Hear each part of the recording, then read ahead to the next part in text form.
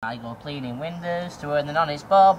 For an Aussie Parker, it's an interesting job. Now it's a job that just suits me. A window cleaner you would be if you could see what I can see. When I'm cleaning windows, honeymooning couples too, all that. That's what I like. Uh, like a bit of um, killing me softly, killing me softly. Bit, a bit of Elvis. I like all that. Like, the thing is with this game, I've got no competition.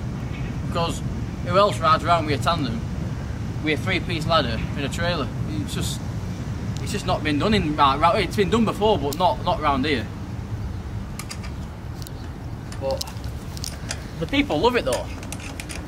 People love it, like, like Sandra. How you sweetheart, you right, love? Good, good. I mean, they, they, they all love it.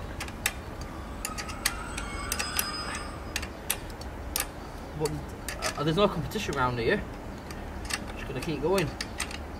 I think works work finds me in a, in a funny way because once I'm not doing a gutter or something, I'll get someone else saying, "Oh, Alfie, can you come and do my gutters?" And then when I'm doing gutters, someone wants someone else doing.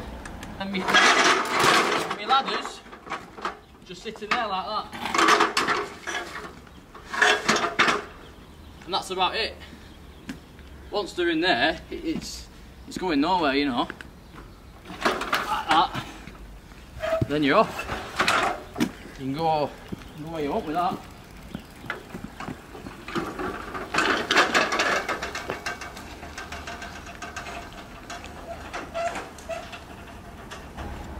Next thing you know, I'm packed for a week. But um, that's the thing. Plus, I think also people quite like it that in this day and age it's quite uh, environmental because I've got no fumes at all. All I'm doing is feeding me, and that's and that's fuel. You know what I mean? I've got a dodgy crank, my tyres popped, and me, I've got a dodgy front wheel.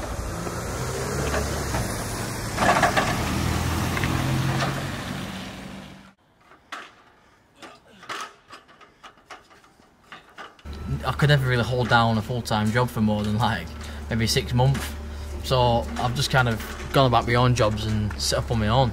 And I, I could be doing all from chasing a dog down the street to cleaning someone's gutters. Um, but yeah, it's it's uh, the main thing is is that I'm happy in what I'm doing. I've done things from like cleaning gutters, cleaning windows, mow your lawn.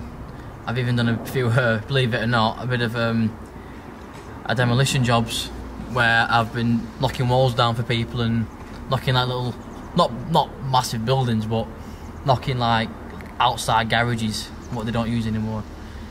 And um, I don't know. I, I've always wanted to like put my hand at something else, like try and challenge myself, but I'm not quite sure what that's going to be yet. Maybe try and build an house one day or something like that, or try and build like a barge boat and go and sail sail down canal or something. I won't say that. I won't say that I'm living dream, but like with what I've got, I've just I'm just happy with what with what I've got. Like I've got 30 quid in my pocket. That's all I've got. But but I was happy as a piece of a piece of poo. You know what I mean? I'm I don't want. I'm not not that bothered about had the good things in life. Don't get me wrong. It'd be nice to have a, a brand new push bike and what have you, but with what I've got, I'm I'm, I'm happy enough. But if people out there want to challenge yourself, or if they can't keep a, job down like, like I, like like I were doing, then there's no wrong with just going to go and get a bike and go and start learning some more or something because you you can't go wrong with that. Apart from my jobs doing what earns me money, I don't mind doing a few signs here and there because it just, you know I mean, it helps the local folk out.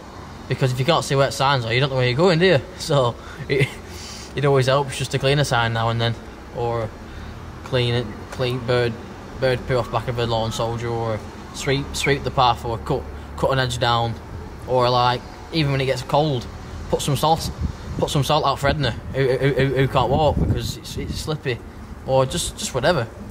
Look, I just I, I, I take it as it comes, and whatever my brain thinks, I just do it. I ain't in control. My head is. It's pretty funny actually. Now I think about it.